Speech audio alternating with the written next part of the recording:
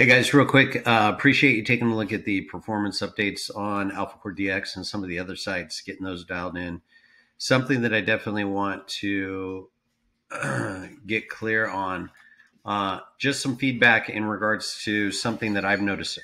The updates from a caching standpoint, I'm not able to utilize the Divi editor from the CMS, so we need to take a look at what plugin is causing that conflict as you can see here, I'm in the footer editor. Uh, I made some updates here. I come in, uh, make some updates. I'm going to add Facebook here as another link, as you can see here. And then let's come in here and delete that, save this go ahead and save that, come back to the home page, refresh it, and see what happens.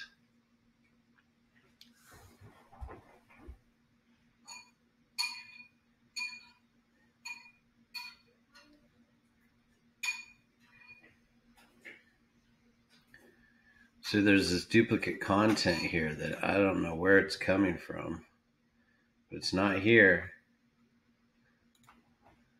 close this out and I come back to the editor, there is some issue with this in regards to duplicate content via the Divi editor. I've cleared cache on the website. I've also cleared it on the server, put it in developer mode on the server itself, but we're still having some conflicts in regards to the plugins that were installed for performance.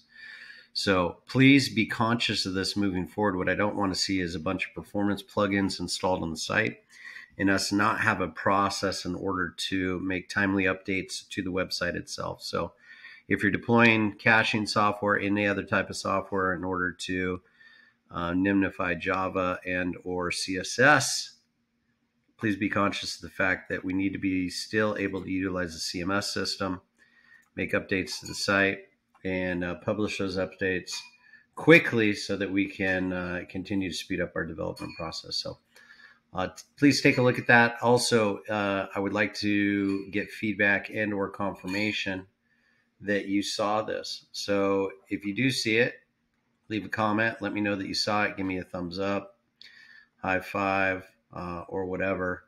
And let's figure out what's going on with our sites. Hope all's well. Make it a fantastic week. We'll talk.